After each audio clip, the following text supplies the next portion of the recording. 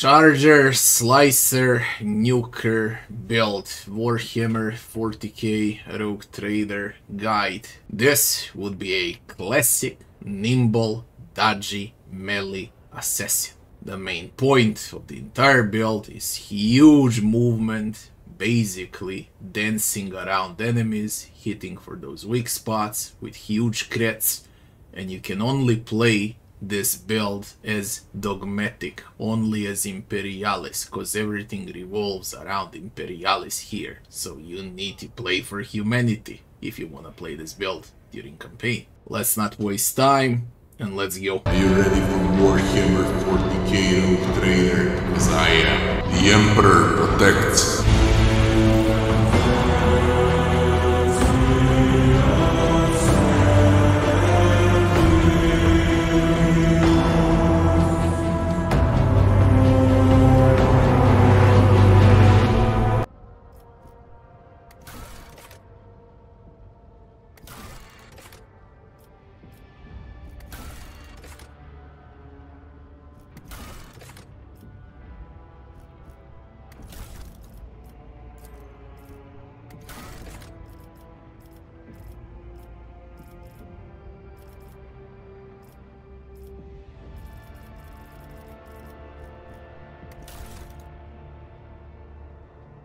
So, we're opening up with Warrior. Charge for free, then we're gonna get Athletics, then we're gonna get Endure, then we're gonna get Ulti, Daring Breach, one of the best ultis in the game, and the first talent that we're gonna learn would be Rigorous Training, extremely important for our Charger build. After that, we're gonna take Ramming Speed and Weapon Skill. Then, we're gonna learn ability called Sworn Enemy, for extra damage towards sworn enemies. We're gonna take athletics, after that we're taking agility into nimble, so we're scaling up with dodge. After that we're taking carouse into talent called impetus. Again, we're buffing up charges. After that we're taking daring breach, ulti upgrade number 4, flat damage. After that, we're taking opening strike talent into agility. And the final ability that we're gonna learn would be the breakthrough, where we're gonna get slash. Okay, multiple usages of free slash. More damage, in other words. Then we're gonna take dueling mastery to get the extra parry. Then we're gonna take weapon skill into carouse, and on the next level we're taking blade flurry. Again, we are raising up slash damage with Blade Flurry. After that we're taking awareness and strength and the final talent, common talent, it's gonna be it will not die and we're rounding up warrior with ulti upgrade number 1 for the Daring Breach. After this our warrior becomes an assassin and we get to see the opening for free and the very first thing that we're gonna learn from the abilities would be Death Whisper. After Death Whisper, we take Carmine Whisper and upgrade Death Whisper damage. After that, we're gonna go with Dispatch, ulti for free, and then huge power spike increase with action points into agility for dodge. Then we're gonna take Professional Acumen talent for the assassin, then we're taking agility again for the dodge, then we're gonna take athletics, and now we're taking the final dodge towards elusive shadow ability. I'll explain the full combo later on, of course. On the next level, we're taking the upgrade for elusive shadow, which is called elusive speed talent. After that, we're taking weapon skill into persistence of the forge talent. Very important one for this build. After that, on the next level, we're getting the perfect opening talent, and then we're gonna take weapon skill into athletics. And now, ulti upgrade for dispatch, we're gonna pick ulti upgrade number 2. We want damage. After that, we're going with a talent called Killing Plan, and then we're taking the talent called an Eye for the Unscated. We are ramming up damage and dodge, damage and dodge. That's what we do non-stop. Okay, after that, we're going into perception, then into awareness, and the final ability that we're gonna learn would be Danse Macabre. And now we got a Charger, Slicer, Slasher, Nuker, Dancer, Assassin. Nimble, Assassin. With multiple attacks. After that, we're taking the Escape Plan talent, and we're gonna take Morbid Pirouette talent and upgrade Danse Macabre with Morbid Pirouette.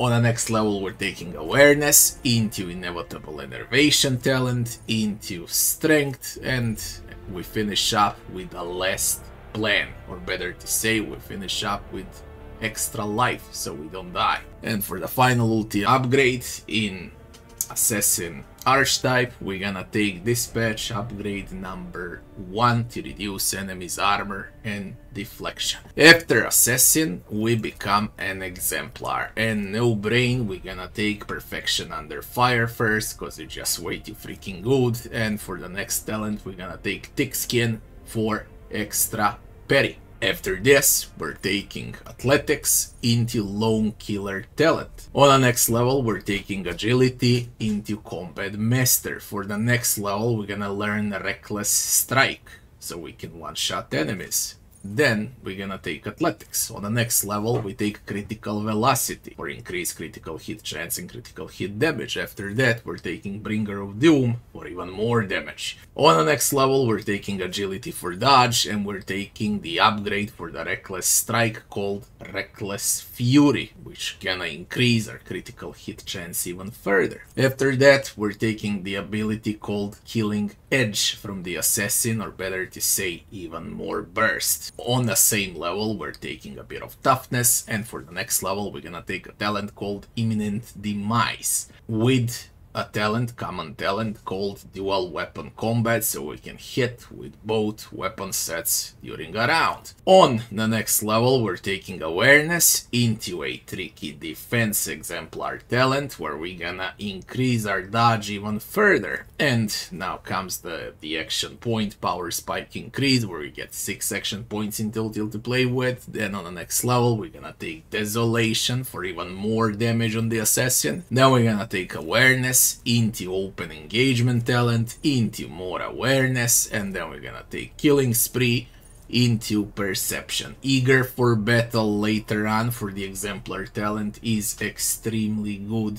on this archetype. And basically any other talent that's gonna provide you with dodge, agility, weapon skill, damage, lethality, that's the one you wanna use. Now, this would be the Charger, Sli Slicer, Slasher, Nuker, Warrior, Assassin. Let's check the itemization. So, itemization for our Slasher, the most important would be the Righteous Justice. This is the sword that you need, that's very easy to grab during Act 2. In the meantime, in the other weapon set, you want auto striking power sword for increased parry. You see how huge the parry is. This is what you want in your second slot. Any weapon that's gonna provide you with the biggest amount of damage and biggest amount of armor penetration, but with the benefit of parry is the weapon that you want to equip until you find the weapons I'm showing you right here. In the second hand, best one to have would be the Foe Hammer because you can knock enemies prone. No matter what chapter it is, you can always knock them prone from afar and you cannot reach. Great, it works great as an execution weapon as well when enemies are left on 1, 2, 3, 4, 5 HP, then you just blast them with Foe Hammer you cannot miss good executioner's weapon. Now, what about the other gear? For the helmet, we want Tactical Genius. For armor, we always, always want to remain in light armor during the entire campaign. The armor that provides you with agility and with dodge is the armor that you want to grab. This is the best armor, Loyalist Garb, that you can equip on the Assassin. For trinkets, we put both knuckle guards. So it's exactly the same items that's gonna raise our damage drastically. And for the amulet, we're gonna go with a conversion field with complete invulnerability from critical hits. So we cannot get one-shotted. For gloves, of course, we're raising up weapon skill and we're raising up strength, or better to say we're raising up damage. And for the cape, we're raising dodge with Cameline Cloak. And for the boots, Charger, Slicer, Nuker build can go with Charge boots. Now, there are other boots that you can use as well. At least 3 to 4 great boots in a game, but I find Pneumo boots absolutely the best on the assassin. Basically boots that give you dodge, mobility, or any boots that enhance your abilities, and you know what abilities we play with as an assassin, those are the boots that you wanna have. But this pneumo boots, they're the best option. How do we play Charger, Slicer, Dasher, Dancer, Warrior, Assassin? At the start, when you're a warrior, you wanna whack endure, you wanna remain behind, make a sworn enemy out of someone and pick your targets smart with a charge. When is the time to go in? The time to go in into enemies to use breakthrough is after the charge. But you gotta have one thing in mind. Be patient for a round or two.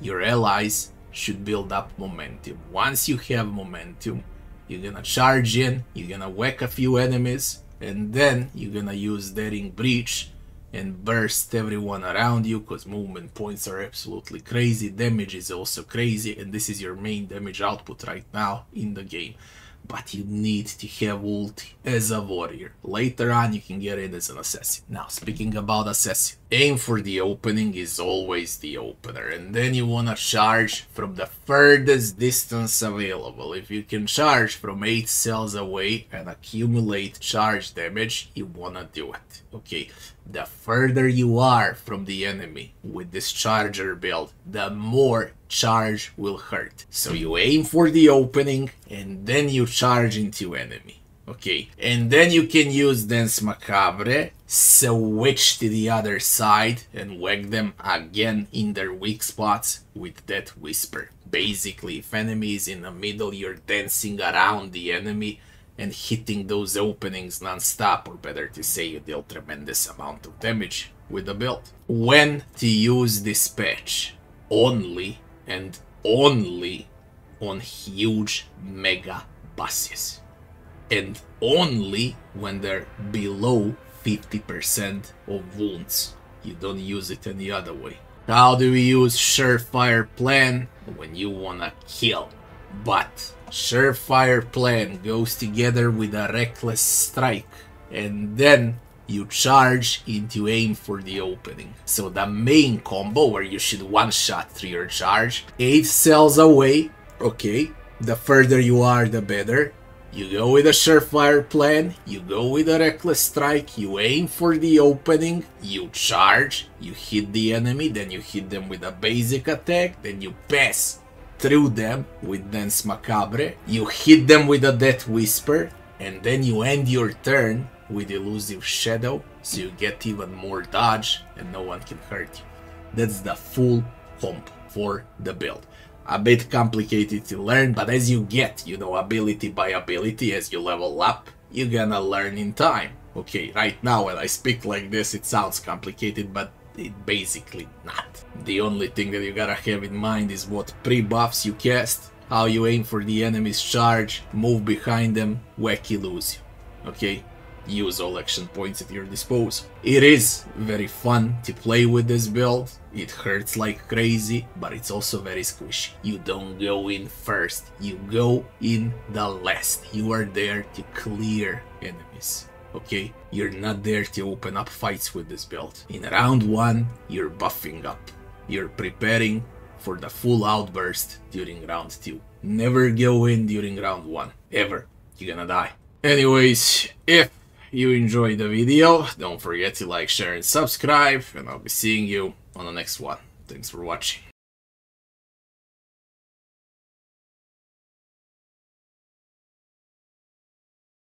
Are you ready for Warhammer 40k Rogue Trader? As I am. The Emperor.